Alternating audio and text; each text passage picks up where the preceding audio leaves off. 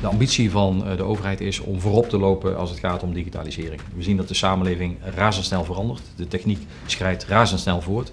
En wij willen en we moeten als overheid daarop inspelen. Het e-partnerschap, waarvan we zo dadelijk de intentieverklaring gaan ondertekenen, heeft dan ook tot doel om structureel te gaan samenwerken tussen het hoger onderwijs en de overheid in de komende jaren. De win-win situatie die hierbij ontstaat is dat wij gebruik kunnen maken van de laatste kennis van het hoger onderwijs door heel Nederland. Dus we werken met hogescholen en universiteiten door heel Nederland uh, samen.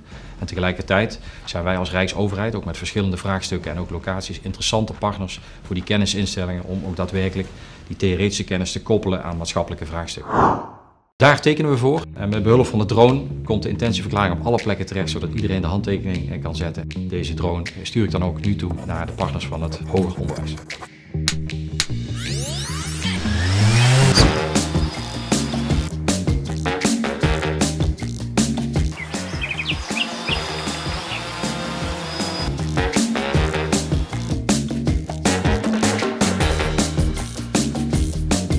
hartstikke goed dat de Rijksoverheid en het hoger onderwijs de handen ineens slaan als het gaat om de digitale toekomst van Nederland.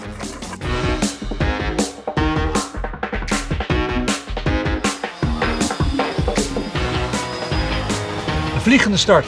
Ik kijk uit naar de samenwerking.